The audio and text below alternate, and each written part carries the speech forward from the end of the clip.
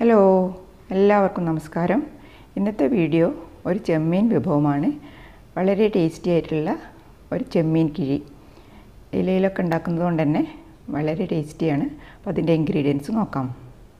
ഇരുന്നൂറ്റൻപത് gram കഴുകി വൃത്തിയാക്കിയ ചെമ്മീനിലേക്ക് കുറച്ച് ഉപ്പ് കുറച്ച് മഞ്ഞൾപ്പൊടി ഒരു ടേബിൾ സ്പൂൺ മുളക് പൊടി അര ടീസ്പൂൺ മല്ലിപ്പൊടി എല്ലാം ചേർത്ത് നന്നായിട്ടൊന്ന് മാരിനേറ്റ് ചെയ്ത് ഒരു അരമണിക്കൂർ മാറ്റി വെക്കാം അരമണിക്കൂർ സമയമില്ലെങ്കിൽ ഒരു പത്ത് മിനിറ്റെങ്കിലും മാറ്റി വെക്കണം.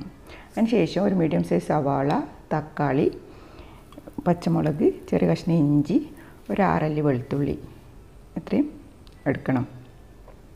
ചെമ്മീൻ നമുക്ക് അരമണിക്കൂറിന് ശേഷം ഒന്ന് ഫ്രൈ ചെയ്തെടുക്കാം. ഒരുപാട് ഫ്രൈ ആവേണ്ട ആവശ്യമില്ല. രണ്ട് സൈഡും ഒന്ന് തിരിച്ചു മറിച്ചുവിട്ട് ഒരു ഷാലോ ഫ്രൈ ചെയ്തെടുത്താൽ മതി. ഒരുപാട് മൊരിഞ്ഞൊന്നും പോവരുത്. കുറച്ച് കറിവേപ്പില കൂടെ ചേർത്ത് കൊടുക്കാം.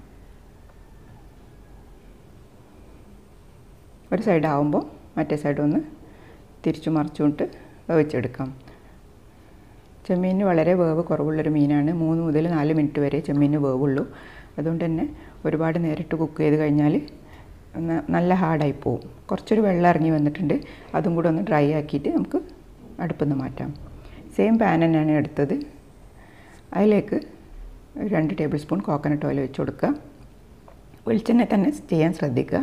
അതിലേക്ക് നമ്മൾ നേരത്തെ എടുത്ത് വെച്ചിട്ടുള്ള സവാള ഒന്ന് ചോപ്പ് ചെയ്തിട്ട് ചേർത്ത് കൊടുക്കാം.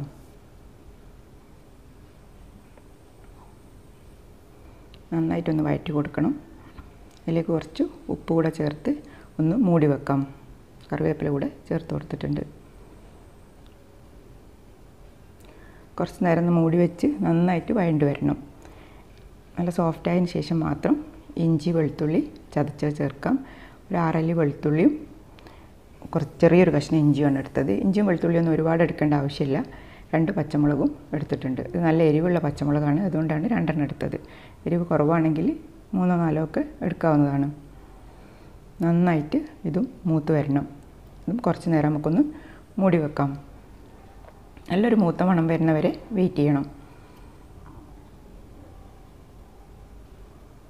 എല്ലാം നല്ല പാകത്തിനായിട്ടുണ്ട്. ഒരു തക്കാളി ചോപ്പ് ചെയ്ത് വെച്ചതും കൂടെ ചേർത്ത് കൊടുക്കാം. എല്ലാം നന്നായിട്ട് ചോപ്പ് ചെയ്യുന്നതാണ് നല്ലത്. ഇങ്ങനെ കിഴി കെട്ടുമ്പോൾ നല്ല രീതിയിൽ വരണമെങ്കിൽ ഇങ്ങനെ ചോപ്പ് ചെയ്താൽ നല്ലതാണ്. അതും നല്ല സോഫ്റ്റ് ആവാൻ വേണ്ടി മൂടി വെക്കാം. ഇപ്പോൾ തക്കാളിയും നന്നായിട്ട് വെന്ത് വന്നിട്ടുണ്ട്.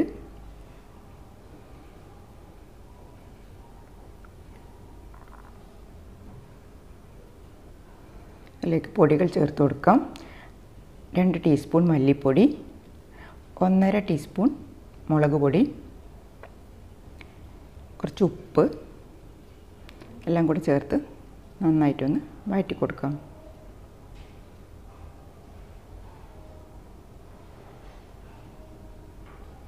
നമ്മൾ വറുത്ത് വെച്ചിട്ടുള്ള മീനും കൂടെ ചേർത്ത് കൊടുക്കാം. മഞ്ഞൾപ്പൊടി വേണമെങ്കിൽ ചേർക്കാം. ചെമ്മീനിലൊക്കെ ഇട്ടുകൊണ്ട് ആണ് പിന്നെ മഞ്ഞൾപ്പൊടി എക്സ്ട്രാ ഇടാണ്ടിരുന്നത്. നന്നായിട്ടൊന്ന് തട്ടിപ്പൊത്തിയിട്ട് ഒരു രണ്ട് മിനിറ്റ് നേരം ആവിയിൽ വെക്കുക. വെള്ളമൊന്നും ഒഴിക്കേണ്ട ആവശ്യമില്ല.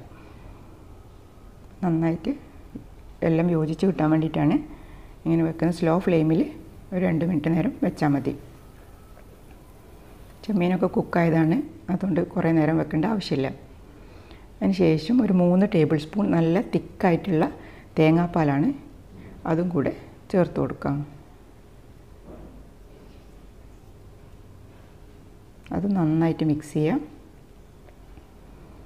നന്നായിട്ട് ചെമ്മീനിലേക്ക് പിടിക്കണം. തേങ്ങാപ്പാലിന്റെ അതൊന്നും പുറത്തേക്ക് കാണാത്ത രീതിയിൽ ചെമ്മീനിൽ പിടിക്കുന്നവരെ നന്നായിട്ട് വഴറ്റി കൊടുക്കുക. അതിന് ശേഷം കുറച്ച് നേരം നമുക്ക് മൂടി വെക്കാം.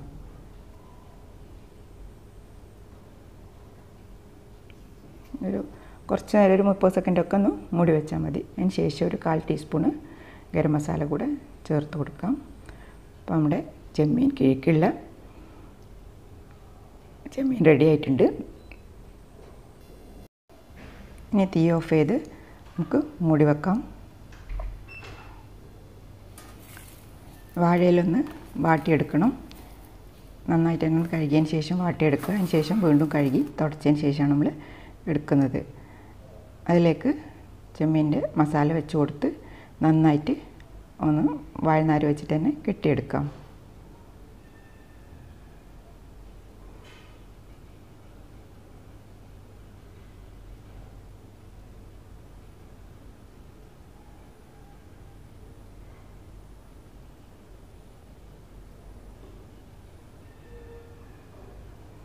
അപ്പോൾ കിഴി റെഡി ആയിട്ടുണ്ട്. ഇനി നമുക്കൊന്ന് നമ്മൾ ദമ്മിടുന്ന പോലെ ബിരിയാണിയൊക്കെ ദമ്മിടുന്ന പോലെ ഒരു മണ്ണിന്റെ ചട്ടിയിലേക്ക് വെച്ചിട്ട് ഒരു അഞ്ച് മിനിറ്റ് ദമ്മിൽ വെക്കാം. കുറച്ചൊന്ന് വെളിച്ചെണ്ണ ഒഴിച്ച് കൊടുക്കുന്നുണ്ട്. ഇത് ചട്ടി പുകഞ്ഞു പോകാതിരിക്കാൻ വേണ്ടിയിട്ടാണ്. നന്നായിട്ടൊന്ന് ചുറ്റിച്ചെടുത്തതിന് ശേഷം അതിലേക്ക് നമ്മുടെ കിഴി വെച്ച് കൊടുക്കാം. ഇതൊന്ന് മൂടി വെച്ച് അഞ്ച് മിനിറ്റ് സ്ലോ ഫ്ലെയിമിൽ വെക്കണം. ഇതിപ്പോൾ അഞ്ച് മിനിറ്റ് സ്ലോ ഫ്ലെയിമിൽ വെച്ച് നന്നായിട്ട് ചൂടാറിയതിന് ശേഷമാണ് ഞാൻ പുറത്തെടുത്തിട്ടുള്ളത്. അപ്പോൾ നമ്മുടെ ചെമ്മീൻ കിഴി ഇവിടെ റെഡി ആയിട്ടുണ്ട്. ചട്ടീന്റെ അടിയിലൊന്നും പിടിച്ചിട്ടൊന്നുമില്ല. അപ്പോൾ ഇത് ചപ്പാത്തി പത്തിരി ചോറ് എല്ലാറ്റിന്റെ കൂടെയും അപ്പം എല്ലാറ്റിന്റെ കൂടെയും നല്ല ടേസ്റ്റി ആയിട്ടുള്ള റെസിപ്പിയാണ് വേണമെങ്കിൽ കുറച്ച് ചെറുനാരങ്ങ കൂടെ സ്ക്യൂസ് ചെയ്തിട്ട് ഇതിന്റെ മേലെ ഒഴിച്ചിട്ട് നമുക്ക് കഴിക്കാം. അങ്ങനെ കഴിക്കുമ്പോൾ നല്ല ടേസ്റ്റ് ഉണ്ട്. നമ്മൾ ബീഫൊക്കെ കഴിക്കുമ്പോൾ മാതിരി അങ്ങനെ കഴിച്ചാലും നല്ല ടേസ്റ്റാണ്. ഉള്ളിയൊക്കെ മുറിച്ചിട്ടിട്ട് ആ രീതിയിലും കഴിക്കാം. അപ്പോൾ എല്ലാവരും ഒന്ന് ട്രൈ ചെയ്ത് നോക്കുക. ഇഷ്ടപ്പെട്ട സപ്പോർട്ട് ചെയ്യുക. Thanks for watching